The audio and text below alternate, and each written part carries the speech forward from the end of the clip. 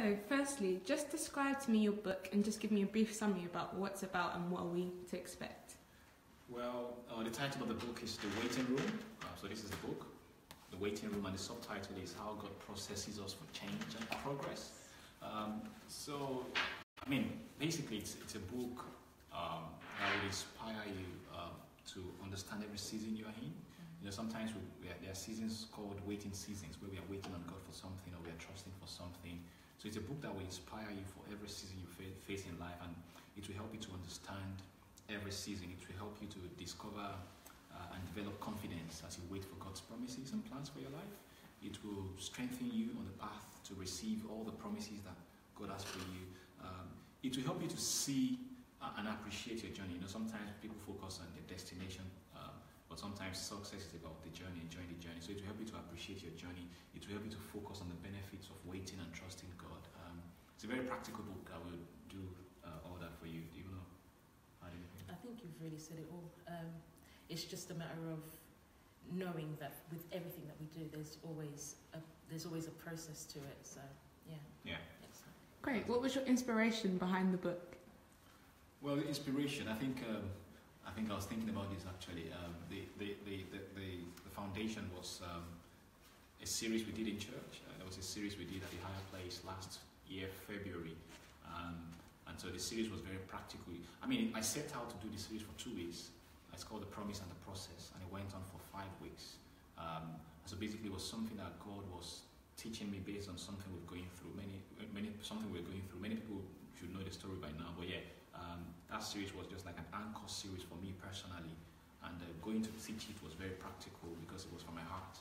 So th- that was the foundation for the series, and then um, the series turned into the book. So this, the inspiration was basically my experience, teaching the experience, teaching the things that God taught me, and then that translated into the book. So we had a lot of um, lessons from our own personal experiences, and that translated into to the book. Because really, if you want to you want to teach somebody something, I think the, the beautiful thing is that you've experienced it before. Um, nobody can take your experience. Yeah, Anybody exactly. can argue with any other thing, but nobody can argue with your experience. So it's a product of our experience, a practical book. That was the inspiration um, for the book. Just rolling. Yeah. yeah. Great. And so, what was the process of writing your first book together? Like, was it hard, difficult? Mm. It's not actually okay. the first book that we've done um, together. We, we actually wrote a book. Um, a mini book? Yeah, a, a, a, mini book um, during our, our, our, wedding season. Um, but this is one of the most the major books that we have um, actually written together.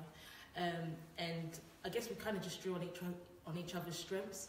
So where I'm more of like a narrative and story kind of teller, then my husband brings in the um, you know the spiritual aspects um, of things, and I, I, I, feel like that was a really good collaboration for the two of us. Yeah, I mean, you see, um, normally I write books on my own, so I, I think the, the, different thing with this is that I had to consult her, consult on so many things. So instead of before, I just keep on writing, but this time we had to sit together. Bible says, "Come, let us reason together."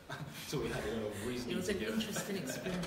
yeah, so fun. she she did more of the the narrative side of things, and I did the principles. Uh, so there was a lot of consultation in between, yeah. getting things done. Yeah. Great. And who would you say the book is for? Like your target audience? I'll say the book is for everyone. Everyone and anyone that is going through a difficult moment in life, a difficult challenge, or you know, as the book is titled, how God processes us, you know, for change and, and for progress. The, the book is for anyone who is in that season. I always have this phrase of saying that in our in our life we're always either in the middle of a trial, we're on our way out of a trial, or we're on our way into a trial. So the book is for is, is literally for anyone who finds himself in. in yeah, so practically everybody, students, nursing mothers, everybody really, uh, uncles, aunties, you get something in here. If you're not in a waiting season, it will prepare you for the next season of your life. It's, yeah. a, it's very practical. Yeah, exactly. Yeah. And what is your favourite chapter of the book and why? Each of you. I personally don't have a favourite chapter. I think I love all of the chapters in the book. um, I'm going to put it that way, and it's literally because each leads into something different you'll get something different from each chapter of that book. Um, yeah, it's, it's, it's just, uh, for me, I feel like it's just a very well rounded um, book and experience. So every chapter for me. Yeah, in a way, I think that's that's very true because each each chapter leads to the next one. It's like you're, it's building up something gradually where you have the stories, you have the principles, everything leading to something else. But I would say I think chapter four stands out. It's um, called a pro- it's a process. That's the that's the chapter. It's a process, and basically that tells you that uh, everything we go through in life with God, it's a process.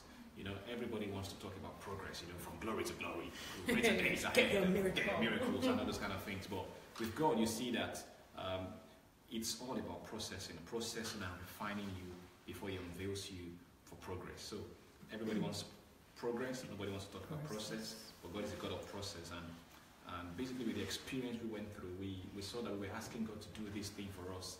And it was like we were asking God for it, asking God for it, asking God for it. And it was like, it was not going to happen. It was, we th- we thought, what's, what's happening, God? God, I, I pray, I, I give to you, I'm committed to you. So what's happening? But over time, it was a revelation and it actually made me rest because I saw that God was refining us, He was processing us with this experience. So I wouldn't change anything we went through because Yeah. I'm better off, we are better off in spite of those things. So it's a process. Chapter 4 is a good one. Yeah. Thank you, that was really amazing. But lastly, where can we find this amazing book? Where can I get a copy? yeah, the book is available on Amazon. It's available everywhere on Amazon. Amazon.co.uk, Amazon.com, Amazon.fr, Amazon, Amazon.jp. It's everywhere on Amazon. Um, but also, it's also available here at the Higher Place UK on Sundays, 10:30 a.m. at the Charlton Athletic Stadium.